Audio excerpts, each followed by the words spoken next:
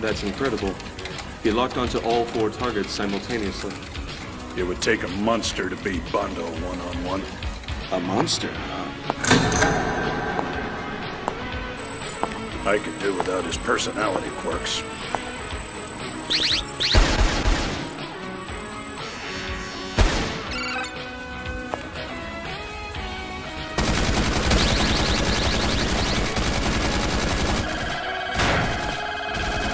Stop screwing around!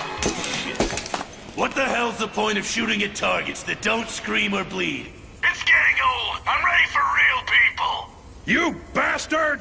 I understand. This is ridiculous. I'm done with this shit.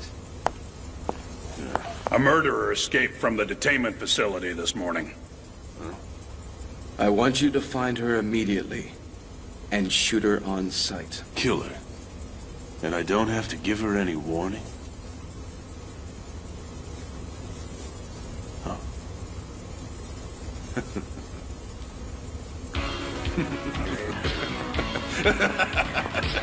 Just go out and cap her, huh? Mr. Bando?